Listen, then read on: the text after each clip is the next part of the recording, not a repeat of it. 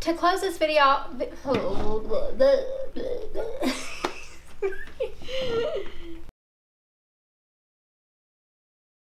Hey guys, welcome back to the House of Wrinkles, bringing you the how-to for English Bulldogs and other canine tips and tricks.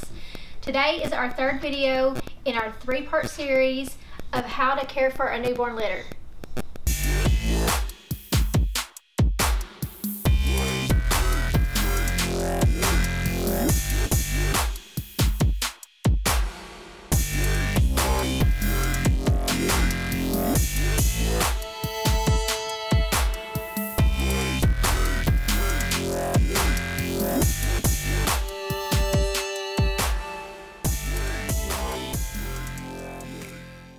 Today we're going to talk about how to keep your litter warm.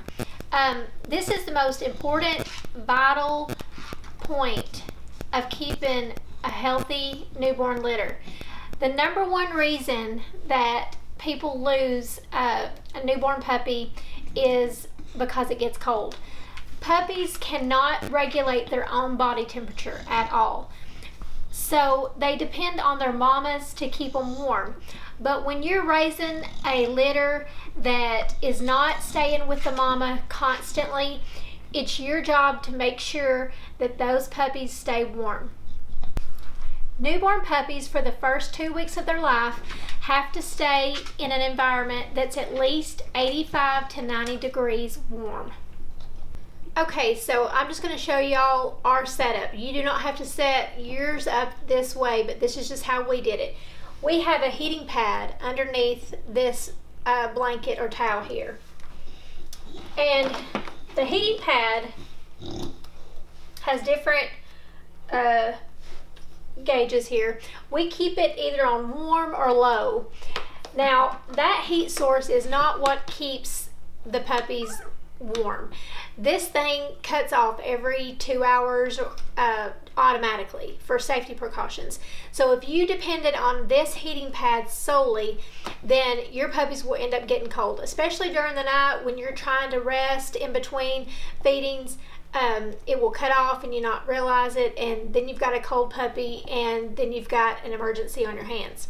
So we use this as just a, a little backup because we have hardwood floors in this area and so it's and we're also in a basement where it stays a little bit cooler than like uh, like in a normal room with carpet or uh, better insulation. So we just use that as a backup.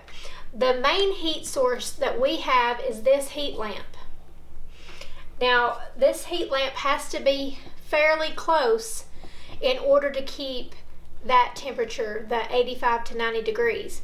And what you ideally want is a space big enough where your puppies can move away from the light if they get too warm because puppies can actually overheat as well. So it's really, really tedious on how you kind of want to keep their temperature. So they know when they're too warm but there's nothing they can do when they're too cold. So you have to provide the heat and then give them the space where they can actually crawl away from the heat if they get a little too warm.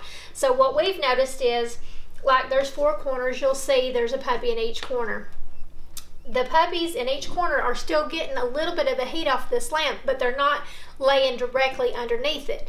Now, sometimes the puppies will move to the middle and um, we call sunbathe right directly underneath the lamp. That means that they're trying to warm up a little bit. Or sometimes they'll snuggle with each other to try to stay warm.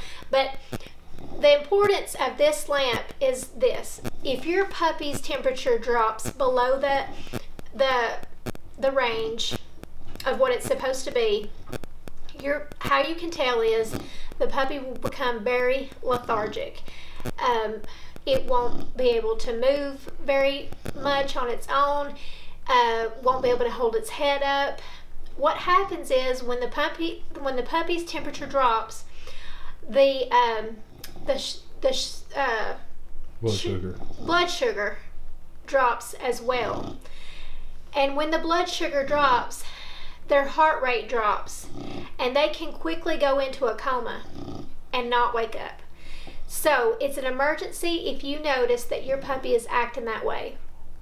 Now, there's a difference between a sleepy puppy after it's eight that's not moving much um, than an actual lethargic puppy. How you can tell is a sleepy puppy will still move its head up and some, and you'll still get a little wiggle here and there. A completely lethargic puppy will be almost lifeless. If your puppy gets too cold and its blood sugar drops, what you can do is there's a couple of different things. If you have Karo syrup, which I suggest every breeder to have on hand because it's a lifesaver, um, just a couple of drops will quickly bring that puppy back. Now, if you're a first time breeder and you realize that this, and you're watching this video because you're going through this at the moment, what you can do if you do not have Karo syrup is you can also use a drop of honey or you can mix up some sugar water. You would boil the water really good, mix the sugar in, let it cool off. I don't suggest that way just simply because it's going to take a while and time is of an essence with this situation.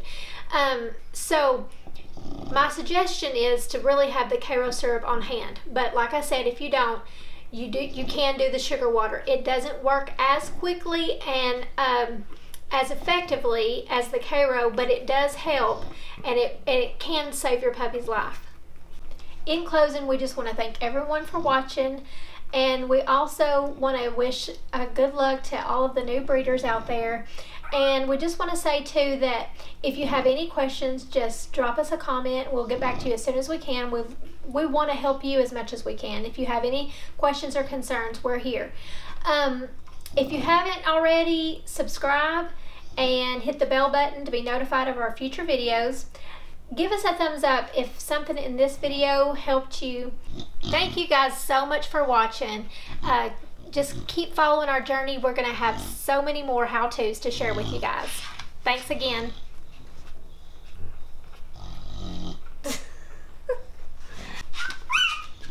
Something's wrong. Yeah. It's probably that smell where she pooed it and it smells terrible. Um, it needs to go to the bathroom. I know.